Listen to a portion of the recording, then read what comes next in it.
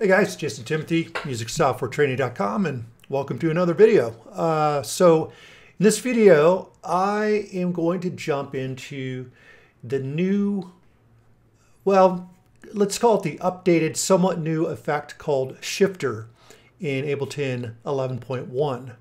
So what I'm going to do here is I'm going to just drag this into the master track.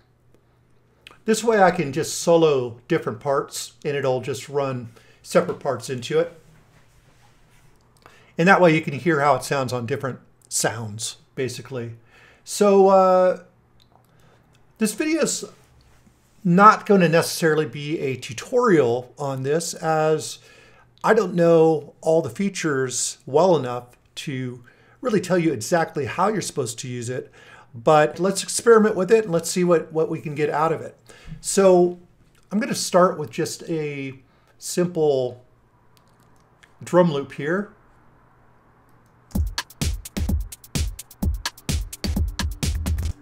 Cool. So jump over to our master and just by default, it's you're not going to notice any difference.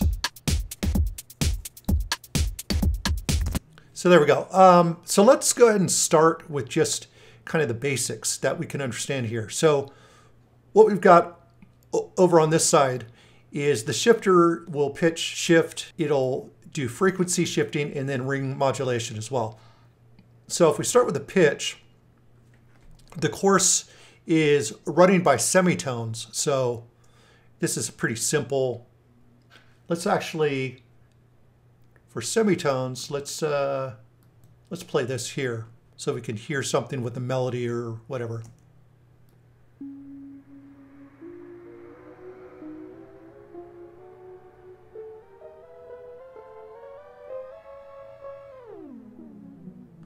So nothing that we haven't been able to do before in Ableton. And this is uh, more of a fine tune in between each semitone. And a cool way to, to use this if we wanted to get kind of that lo-fi sound that I can already recognize now would be like an LFO here. If we just had something like this and pretty slow. We can map this.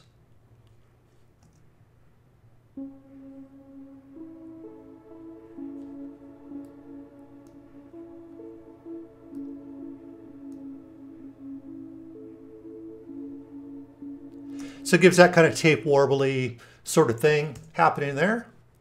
But this also has an LFO built into it to do other things. And it runs all kinds of different waveforms here. So we'll get to that in just a second. Down here we have uh, delay, and we'll get into that. Tone is basically just like a low pass filter. So if we have a sound going,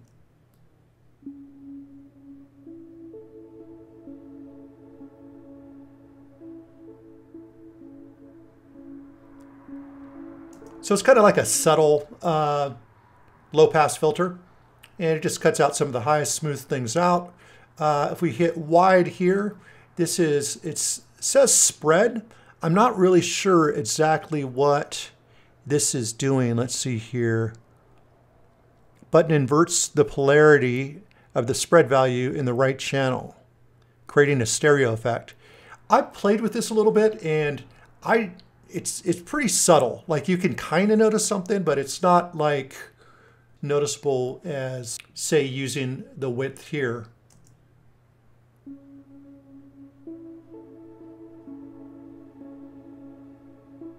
Right, so we've got that there. If I use this here,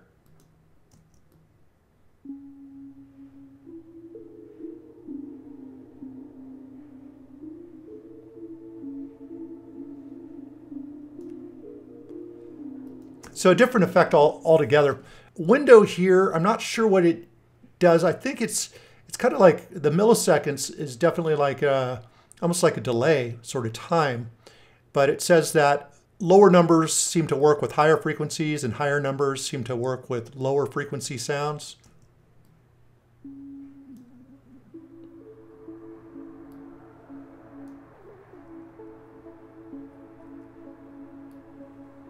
So interesting stuff there.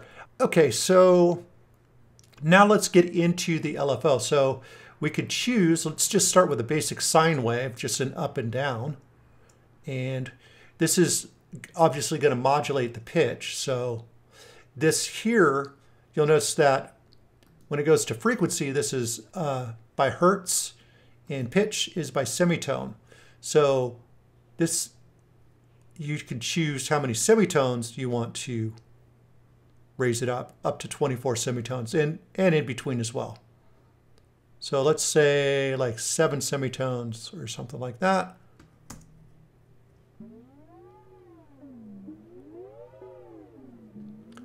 And then obviously the rate is how fast it's going to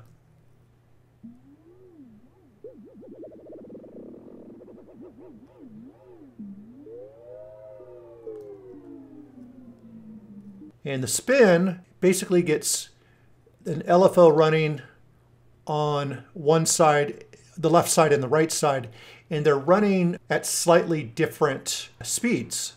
So they're going to bump up against each other in different ways, right? So you could get some interesting off rhythms happening between the stereo spectrum, which is kind of cool.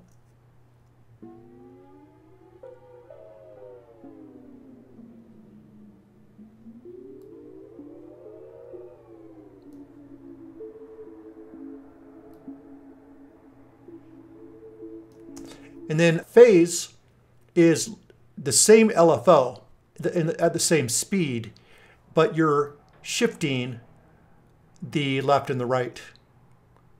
So if you, if you get a kind of a tight one, you get like a thickening sound.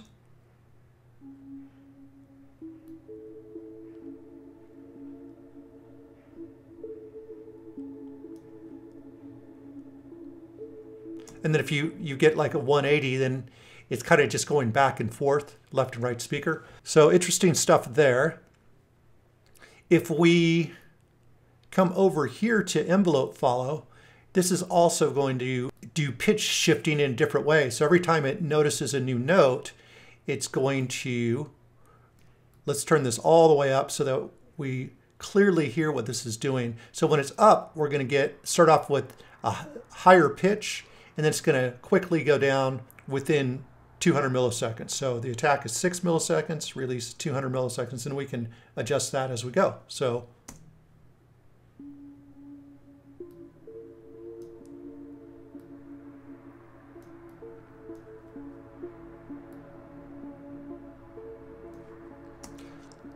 let's try it on frequency.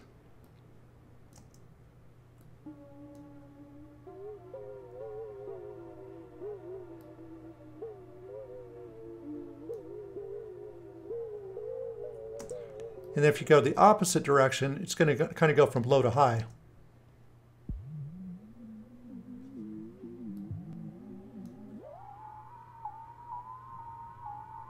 And now we're getting into kind of weird territory where we're really morphing the sound.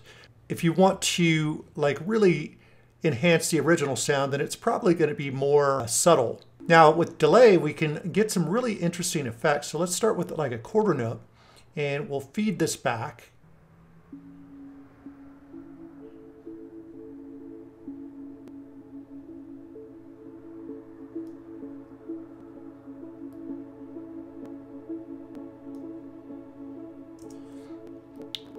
right? Now, something interesting happens when we change the chorus.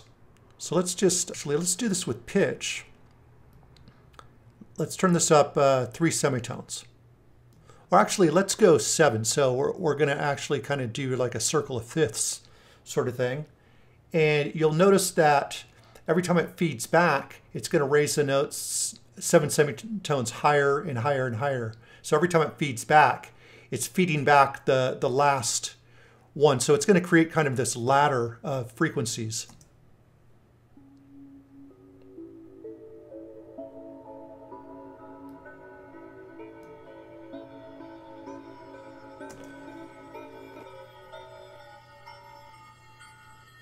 Kind of like that.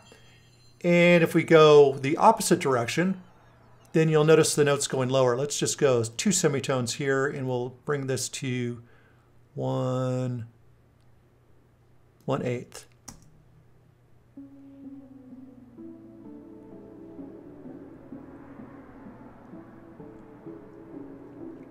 Play a little bit more with this here. Let's try the sample and hold.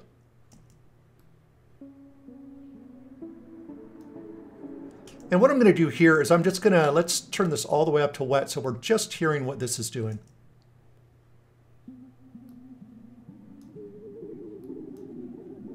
Oh, I'm going to turn the delay off so we get, and we'll put the coarse to zero.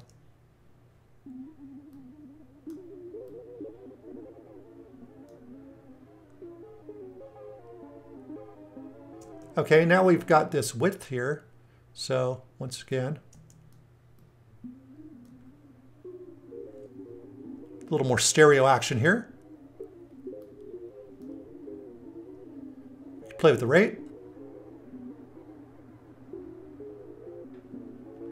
Cool. Let's uh, try triangle 16. This is an interesting one because it seems to have kind of a jagged kind of step ladder going up and down.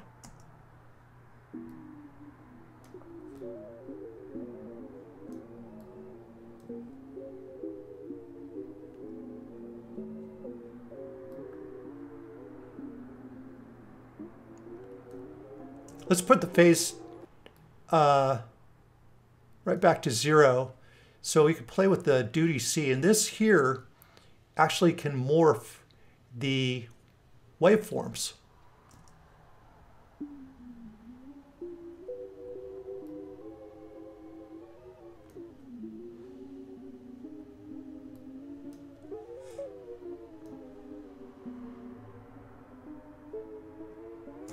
So that's pretty interesting.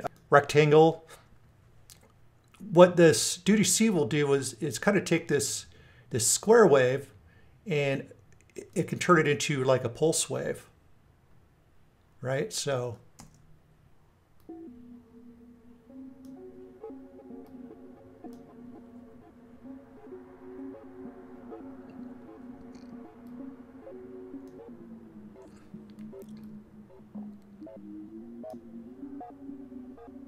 And then we can get into the stereo phasing.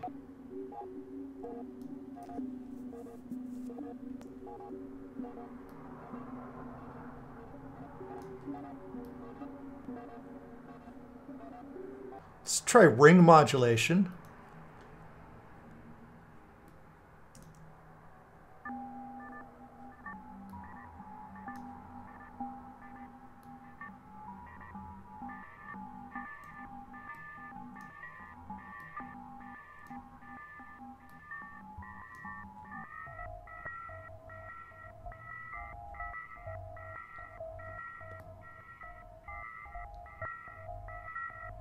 Let's uh, play with the uh, envelope follower.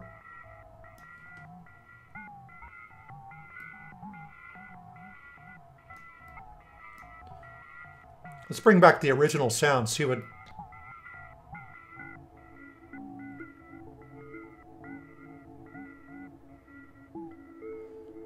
So there's a little, those sort of things can add interesting kind of background atmosphere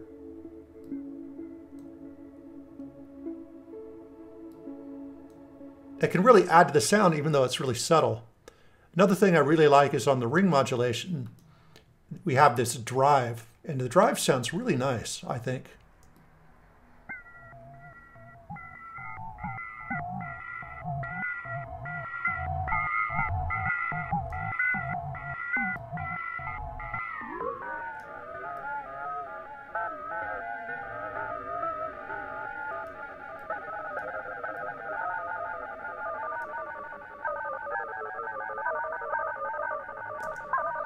Obviously, we can uh, run these to tempo as well, so quarter note.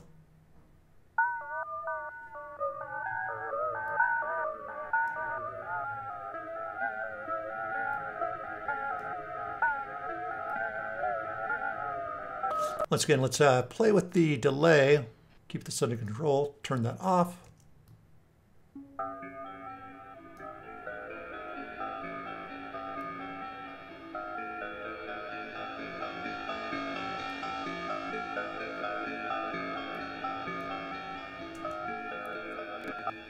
And I like the combination of the feedback and the drive. Sounds uh, pretty interesting.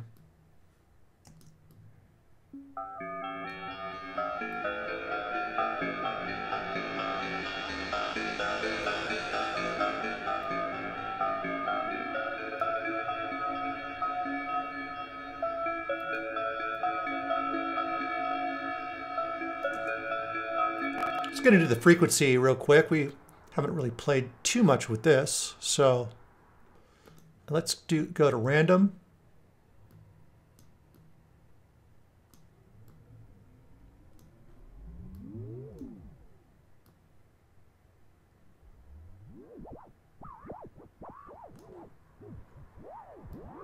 Turn the delay off.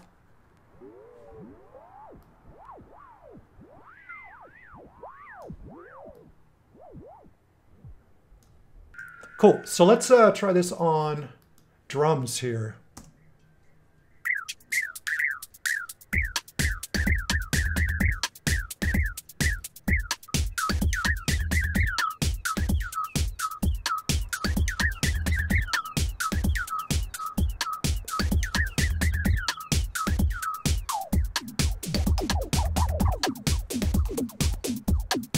You get some really interesting things going on here.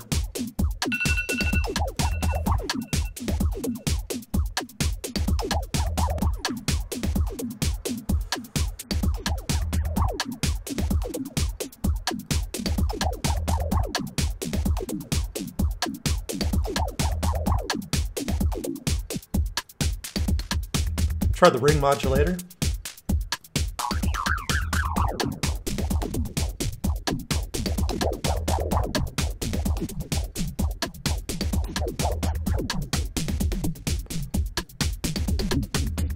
And because uh, I think this has more transients, you're going to notice the envelope follower reacting more strongly to this. So let's uh, keep that there.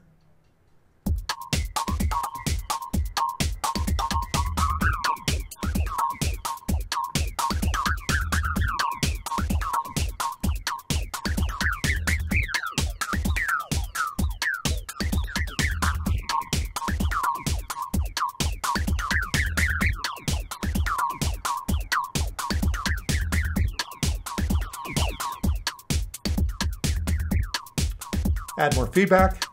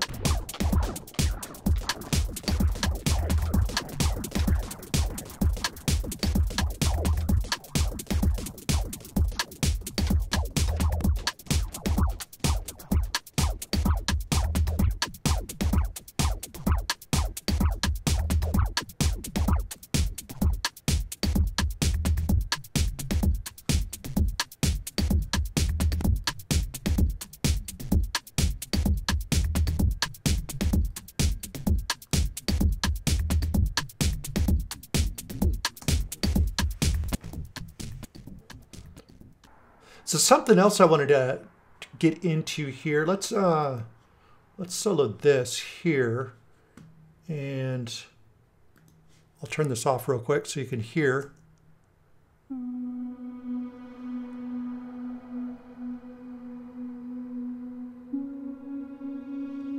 Okay, so just long notes.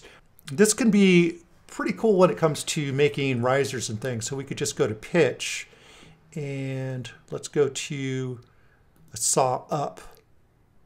And we can start here. Just put that to zero. And let's see. I'll just leave that like that for now. And if we slow down the rate, we can get a long kind of riser sort of sound. And we don't even need to, let's just do that.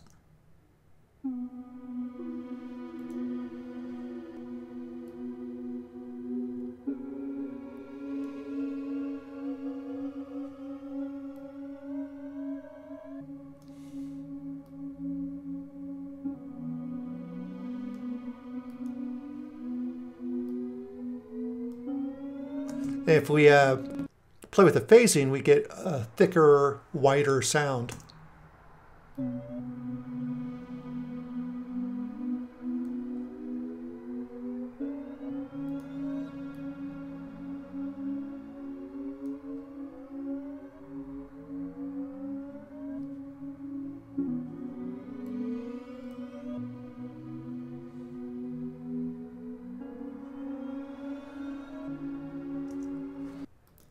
So now let's go ahead and uh, check out some of the presets, see if we missed anything cool that this thing can do.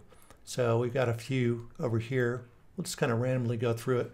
Uh, let's uh, listen to the drum loop first.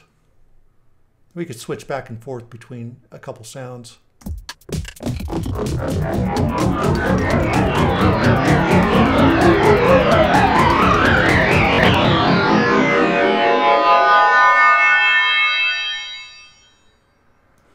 Pretty interesting. Let's uh, hear with this.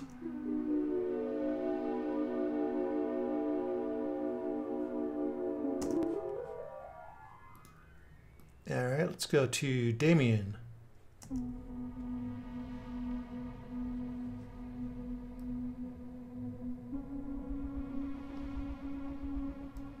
Almost like a strange type of vibrato sort of thing. Uh, dirty tonal.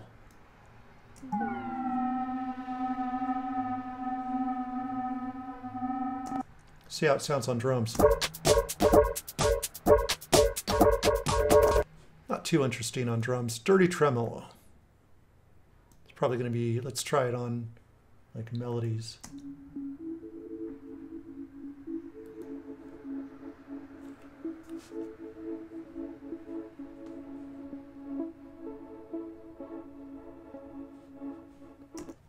Drums.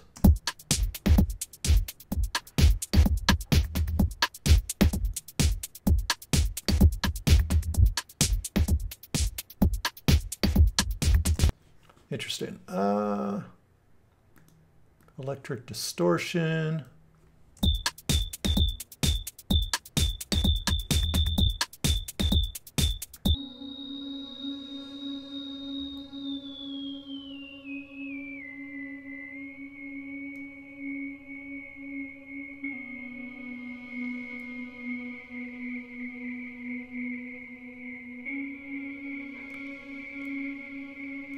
Almost sounds like a flock of birds outside or something like that.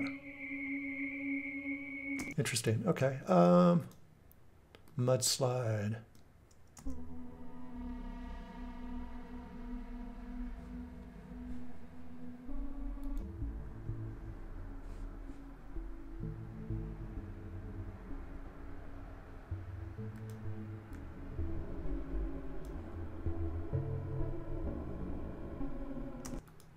Sounding, but I don't know how useful. Uh, race car.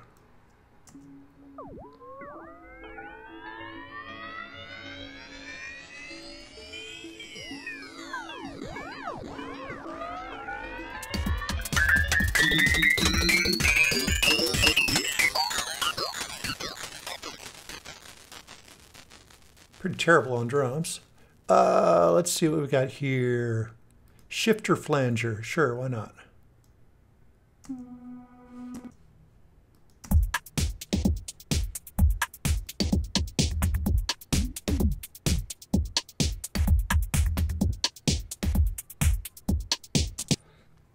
Nothing that the flanger itself can't do. Let's try the tape malfunction.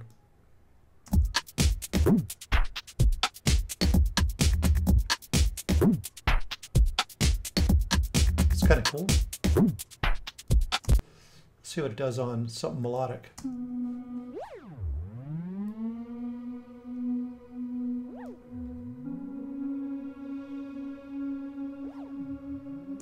I think at a lower wet dry, probably has a better effect on that one. Uh, transmission.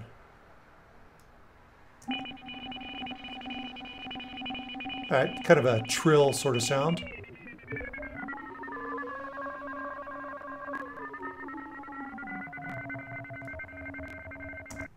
Cool. And oh, we got switch, so we were playing with that before. Twisted riser.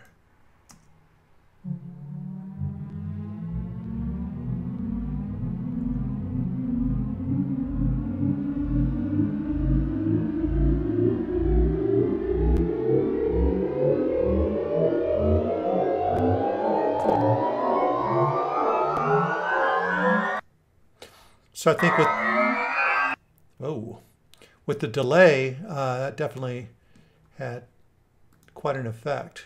Kind of gives it like a never-ending rising sound. Uh, let's do wobbly octave down.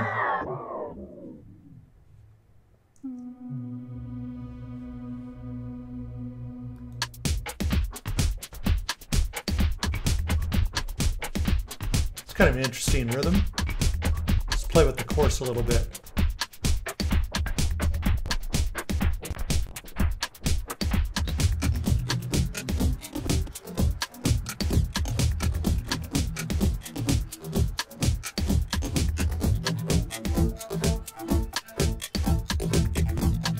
Get into tone territory.